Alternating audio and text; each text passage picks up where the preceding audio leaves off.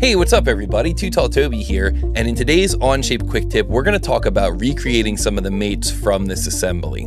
Now in our last video, we showed how we were able to take this assembly from SolidWorks, export it using Pack to Zip, and then import it into Onshape so that we can continue working on this project in Onshape. This assembly in SOLIDWORKS has a lot of mates. You can see there's a lot of mates here, and ultimately what these mates are doing is they are allowing us to turn this tuner, this is a guitar tuner, so that that peg up top will spin and tighten or loosen the string on the guitar. Well, this is a lot of mates here in SOLIDWORKS, and unfortunately, none of those mates came across into Onshape. So now the question is, how can we quickly recreate that environment in Onshape where we go to turn this tuner and the gears all spin and uh, everything works the way it's supposed to work in the real world?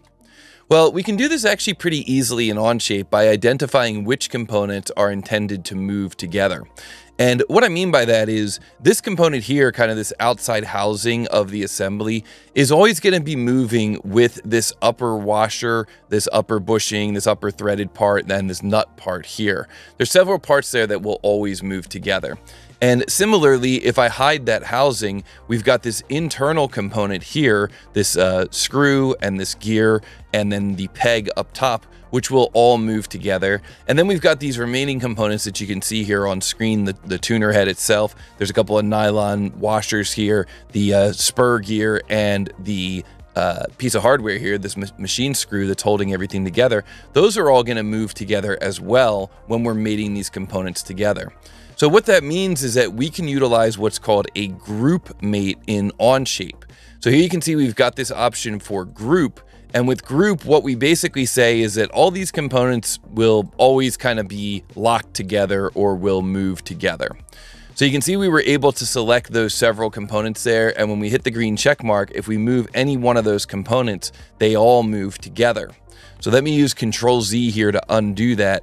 Now, I think that this component is going to become the foundation for our assembly. So I'm going to go over to the tree here and right mouse button on that component. That's that kind of overall housing.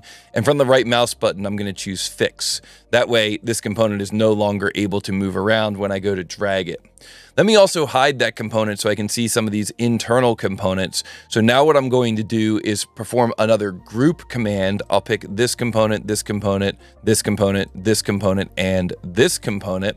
And then I'll hit the green check mark and we can see that now all of those components are going to move together. Let me do a control Z to undo that movement. And then I'm going to once again perform a group command. This time, this group command will be on this component, this component, and this component. And now whenever I go to move those components, we can see that once again, they are grouped together. They will all move together. So now I will once again do a control Z. And now it's really just a matter of us getting in here and adding some mates between these components and their mate connectors. So I'm going to show that housing once again, and I'm going to go to a mate command. Let's make this one a revolute mate. So we'll choose here from our, our mate types, we're going to choose the revolute mate.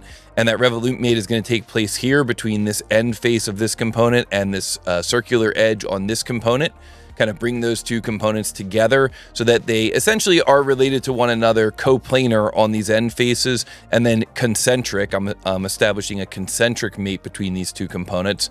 And now I'm going to do something similar here with the uh, with with this component and with um, maybe what I'll do is I'll relate this to one of these internal components. So let me hide this housing here. And I think what I'll do is I'll create a relationship between this component here, this threaded kind of sleeve component here, and then the peg, which is rotating. So let me just get a quick measurement here. The measurement from this face to this face, if I just look down here in the lower right corner, I can see that distance is uh, 10.2108. So let's make sure that we kind of remember what that distance is. Now we're going to go to a revolute mate. This is going to take place between this face and this face here. And we're going to say that that's going to be at an offset of negative 10.2 uh, uh, 2108.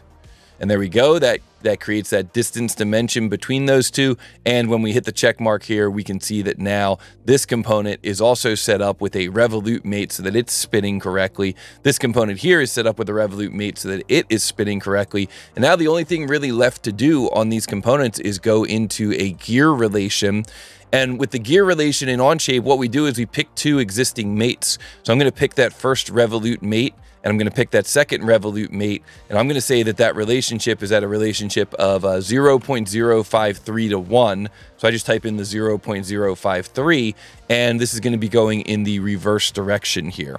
And now we can see that when we go to spin one of these components, we get the uh, we get the results that we were hoping for. You can see that when we spin the one component, the other component moves. The only problem here really right now is the alignment of these teeth. And so if I go in here, let me just reset both of these Revolute mates, make sure that they're kind of back to neutral. And I'm just going to go in here and edit this Revolute mate and just kind of adjust the secondary axis. Sometimes you get lucky here. Yeah, like in this case, I was able to get lucky there and I was able to get those to line up. And what that all means is that now if I were to go to a animation of one of these mates, let's say I go to this first mate here and I choose to animate it, I can actually see what this thing is going to look like as we are turning that tuning key. So we can see here that Onshape does a really nice job of allowing us to use the animation option. Let's increase this instead of uh, 360. Let's make it uh, 360 times four for the uh, total rotations there. And then let's play this thing. And there we can really see what this is going to look like as that gear is turning. We can change the angle of it. This is something that I really like in Onshape. And hey, if you like looking at this kind of stuff, be sure to hit the like button on this video. Uh, I think this really makes Onshape a great tool for kind of validating your designs and making sure that all of your mates are set up correctly. But this, I think, looks great. And so at this point, I'll stop that animation and I think I'm now ready to show that housing and move on with my changes to this design or maybe even reuse this tuner in a future design because now I am confident that all those mates are set up and work correctly. You can see that instead of having that huge stack of like 30 mates, we were able to accomplish the same exact thing here in Onshape just using a few mates here, three group mates, two Revolute mates, and one gear mate. And we were able to get to that same spot that we were in in SolidWorks with all those mates. And I think that's just another reason that you're going to see so much better performance from your Onshape assemblies. So let me know down in the comments if you have any questions about this video. And of course, be sure to like, be sure to subscribe, and be sure to come back for the next Onshape video.